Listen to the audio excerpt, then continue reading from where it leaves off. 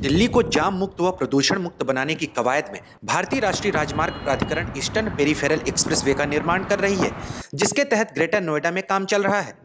यह प्रस्ताव 2005 में पारित हुआ था। इसके लिए एन को गौतम बुद्ध नगर के उनतालीस गाँवों के भूमि की ज़रूरत है। इन उनतालीस गाँवों में एक बील अकबरपुर गाँव भी है, जहाँ के किसानों की भूमि का अधिग्रहण किया गया है। इसके तहत किसानों को भूमि के बदले मुआवजा देने की प्रक्रिया भी चल रही है। लेकिन किसान मुआवजा वितरण के मापदंड से संतुष्ट नहीं है। जो भी हमने उनसे कहा, उन्होंने कोई भी वायदा आज तक पूरा नहीं किया, बस झांसा दे जाते हैं। बीच में आते हैं, बातचीत करते हैं और पंद्रह दिन में हो जाएगा। लेकिन होता कुछ नहीं है। डीएम साहब से भी बात हुई थी, अब मैं नया आया हूँ यहाँ और मैं ये काम करूँगा, आप मुझे पंद्रह दिन का समय दीजिए। लेकिन उन्होंने भी कुछ आज तक किया नहीं। समझे जी? सब वादा खिलाफी कर रहे हैं। गौरतलब है कि सुप्रीम कोर्ट ने एन को 2018 तक इस प्रोजेक्ट को पूरा करने की डेडलाइन भी दी है।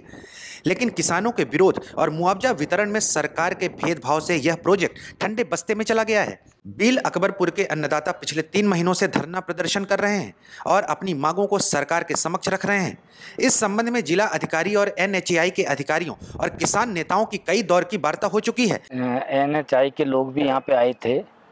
और आपके जो है कप्तान साहब के भी लोग आए थे यहाँ पे सोए साहब भी आए थे एस डी एम ए सब लोग आए थे सबने आश्रम दे दिया कि ठीक है।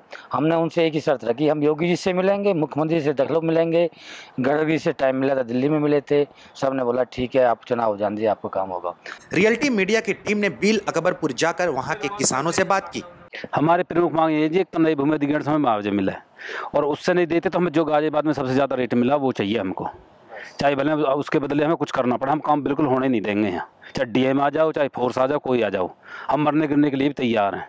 अगर कोई गोली चलाता तो सबसे पहले गोली हम खाएँगे। ये रोज़ रोज़ वादा कर जाते हैं और भूल जाते हैं फिर यहाँ से जाके। हमारे देश में वैसे भी अन्नदाताओं की स्थिति बहुत ही दयनीय है।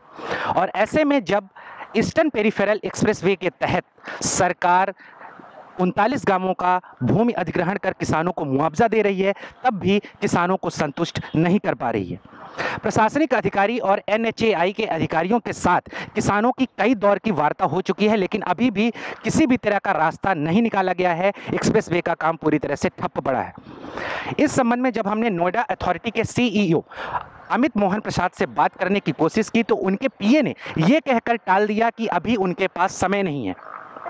वजह जो भी हो, लेकिन किसानों के साथ देश के अन्नदाताओं के साथ यहाँ पर भेदभाव और वादा खिलाफी का एक नमूना आपको दिख सकता है। और किसानों का भी यही आरोप है कि सरकार और एन के अधिकारी और प्रशासनिक अधिकारी उनके साथ वादा खिलाफी कर रहे हैं। आश्वासन तो दिया जाता है, लेकिन ज़मीनी स्तर पर वाजिब कोई कार्यवाही नहीं की जा रही है।